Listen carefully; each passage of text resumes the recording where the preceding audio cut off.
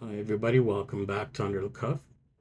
Today we'll be reviewing the Longines Spirit Zulu Time in 42 millimeters, reference L381246336.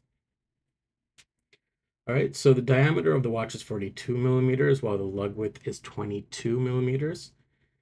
The thickness, height, or thinness of the watch is 13.90 millimeters, but it wears a lot thinner and most of that height comes from that domed sapphire crystal.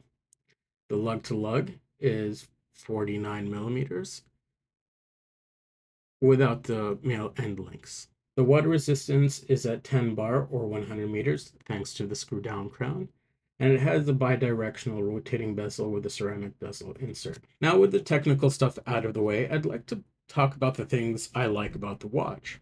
One of the main things I like about the watch is its uniqueness seems like no matter where you go, um, everyone seems to be copying Rolex. Uh, there's no problem with the Rolex. I love Rolex. Uh, their GMT uh, models are amazing. However, when I was looking for a GMT watch, I actually really like the uniqueness of Longines. What Longines have done well is a design. It would have been easy to do a bicolored bezel and called a day, but they chose a single color. And in my opinion, the shade of green that they chose on this model was impeccable. This gives you a nice British racing green without the green overpowering the actual watch.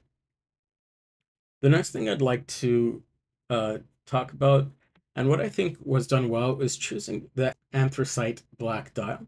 I think this was a good choice because if it had a polished or glossy black dial, I think there would have been no contrast between the shine from the bezel and from the dial. And I really liked the placement of everything on the dial. When it comes to Longines logo, the controversial five stars, I really liked how it actually utilized the negative space. I also really like how they used uh, the loomed golden Arabic numerals.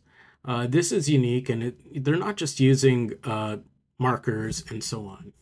Now, with all the praise that I just gave this watch, you'd think that it's a, per a perfect watch. However, if you want to learn more about how I got this watch, some of the decision making that I had with this watch, you can read the article on my website underlecuff.com. But to summarize uh, some of the quirks of the watch, um, let's actually start off with the main issue that I have. And that main issue is um, a very slow date change when you hit midnight. Let me show you what I mean.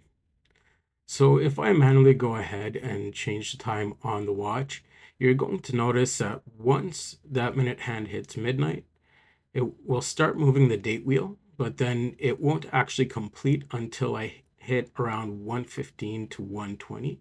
You'll be able to see it jump and complete. So for a luxury watch, I think that's unacceptable. Um, I don't know if it's a limitation of the complication or the movement, but I have a lot cheaper watches with a date change at midnight. So that's my first quirk that I could get by. Now, the second thing that I think is super annoying is the bracelet. Uh, they opted to over engineer this quick release uh, feature on the spring bars. And you can see here that when I press down on it, it will detract the little uh, spring bar tips there. It's very hard to zoom in, uh, but I'll press down and sometimes even it doesn't even register that I'm pressing down on it. Um, I would have preferred uh, actually, if possible, take the money from this uh, feature, which I think is the reason why we have male end links. And I would have preferred uh, a micro adjust, a quick micro adjust in the clasp of the watch. Um, so you can see me playing around with this watch on my wrist right now. And the reason why I'm doing this is to show you um, if you don't wear the watch tight, because of those male end links, it does actually droop off the side of your wrist, kind of like how I'm pushing it there. Um, and I prefer not to wear my watches that tight. I do like to have a little bit of wiggle room there. especially if they don't give me a quick micro adjust. Now, an another gripe that I have, if you see here, um, at this price point for a luxury watch, uh, they shouldn't be using pins. Um, it's very hard to focus, but you can see here that Longines is still using pins rather than screws uh, for the bracelet.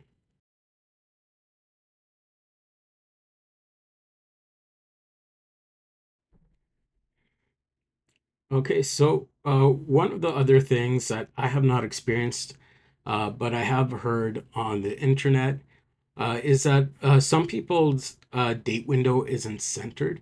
Uh, so the date in the date window is not centered. Uh, I don't have that problem. I really haven't seen it um, on any of the models that I've handled. Uh, but just keep that in mind if you are thinking about picking this piece up. Now, another thing that I wanted to talk about is uh, the fact that um, if we actually pick up the watch here, if you put your thumb around the 8 o'clock position on the bezel and press down, it does have a bit of a bounce to it. Um, I've at first I thought it was uh, the model that the AD got for me, uh, but then I quickly realized um, after they got me the new one and um, the bezel actually did not align uh, at the 12 o'clock position, so I ended up getting this model. But out of all the models that I have handled in the stores, they all seem to have that 8 o'clock bounce. Okay, so what I would love to see, or I I wouldn't say love to see, but features that I think would have just made this uh, watch be the perfect watch, um, other than fixing all the issues that, that I mentioned previously, would be if um, you take a look at the bezel, the triangle is the only thing that's loomed up there. So if you're trying to keep track of a third time zone and it's uh, dark, it's going to be very difficult to actually uh, tell the time there.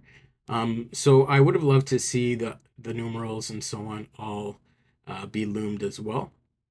Also, if we take a look at the side profile, if uh, the lugs were a little bit more angled, that would have actually fit the wrist a little bit better.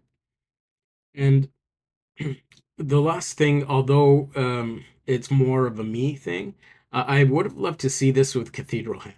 I don't know about you guys. I love the hands as they are, but I think if it had cathedral hands, it would have actually uh, given it that little bit extra. That je ne sais quoi that would have probably made this a little bit more of a perfect watch. Uh, as I mentioned in my article, this is an imperfect perfect watch. Um, obviously, it has its quirks, but I love this thing. I could not get this off my wrist for the past few months. Um, and the only reason why I did take it off with was either for functions or for uh, reasons uh, that I needed to wear my other watches. All right, this is the end of the video. I hope this helped you. I hope you liked it. If you liked it, please uh, give it a thumbs up, subscribe, do all the things to help me out with that algorithm, and I'll see you next time.